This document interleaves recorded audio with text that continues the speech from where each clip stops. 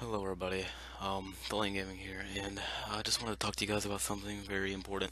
I had a video scheduled to be released today, but obviously I'm not going to be releasing it today, and instead I'm going to be holding off till tomorrow, because this just had to be talked about.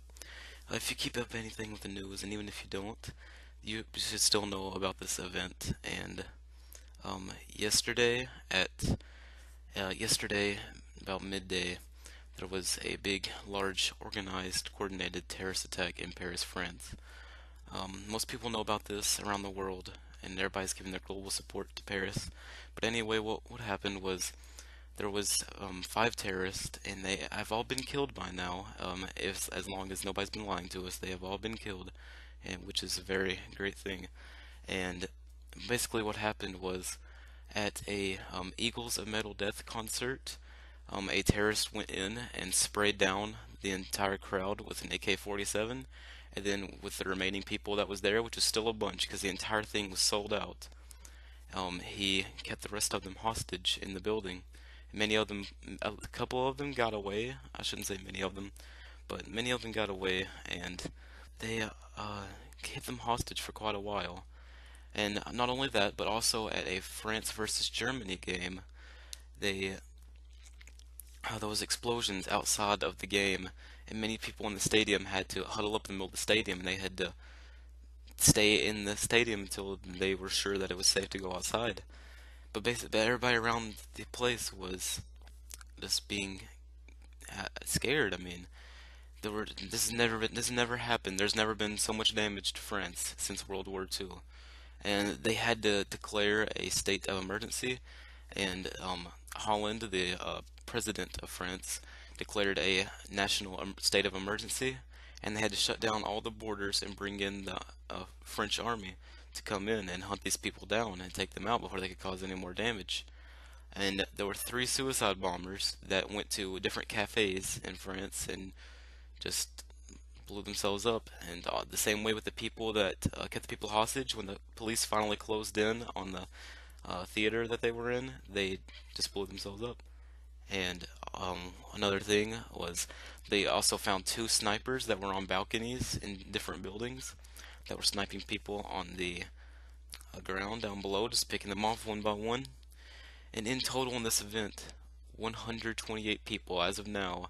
Um, the time I'm recording is 11 o'clock on Saturday, November the 14th, and as, as of right now, they've found 128 people dead, but the number is continuously rising, and no, no other damage has been done since yesterday, and they're trying to get everything fixed out. And also another little thing is that the United States has dropped bombs uh, targeting the Islamic State leader, but they're not sure if they hit him or killed him or not. So we'll see about that in the meantime. Uh, that's another little thing, but there's been global support for this around the world, and I'm sure your country, if you're watching, has been supporting. And if you're if you live in France, then obviously that's going to be a big thing there. So I'm hoping that you guys are keeping support and just keep remembering France. Don't let don't get them out of your heart. But the different places around the world that are honoring them, or not honoring them, but keep them in absolute solemnness, is the One World Trade Center in New York, in the United States. Um, they have lit up the spire in red, white, and blue in honor of the French flag. Um, the San Francisco City Hall, it has uh, got uh, the blue, white, and red all over it. Um, the Sydney Opera Opera House in um, Australia, it has itself lit up in the French flag. The Auckland Tower, it has itself uh, in the colors of the French flag. The CN Tower in Toronto, Canada, it has its um, colors in the French flag. The Mexico Senate building also has the colors.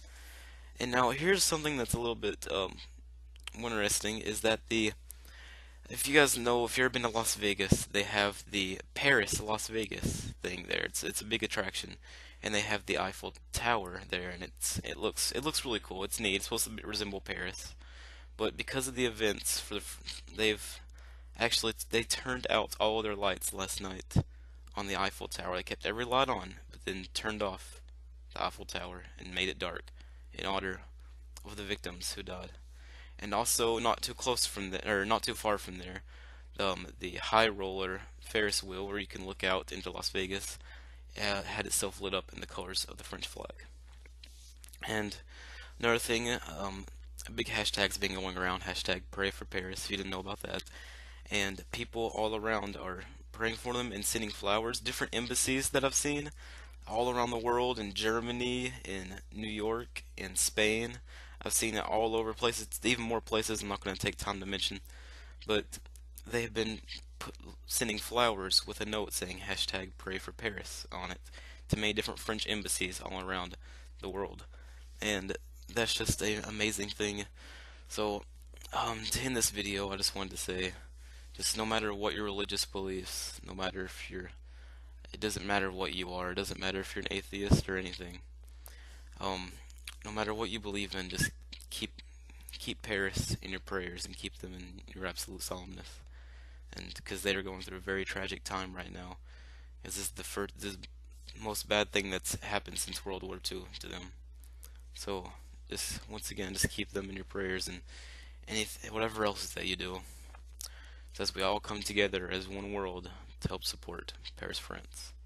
So, thank you guys for watching, and I'll see you guys later.